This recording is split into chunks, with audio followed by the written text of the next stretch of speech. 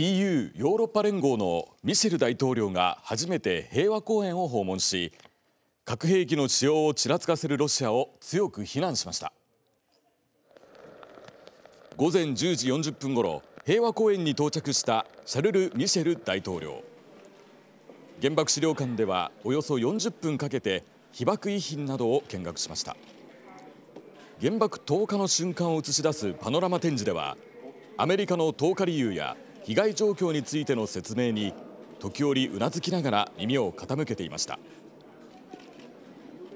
ウクライナへの侵攻を続けるロシアが核兵器の使用に言及していることについて恥ずべきこととして強く非難し核廃絶の必要を訴えました。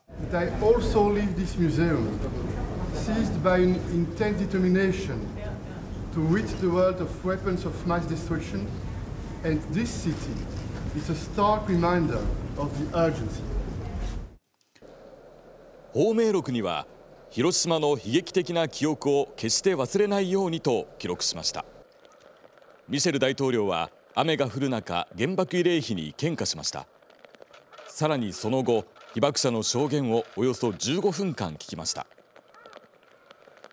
自分の体験を話してくれてあの勇気があるね君はありがとうということでここに来て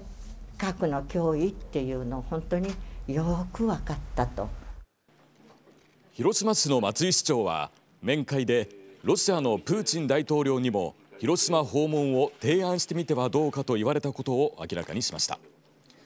市は毎年すべての核保有国に原爆の日の式典の招待状を送っていて今年はウクライナ侵攻を踏まえた内容を盛り込む方針です。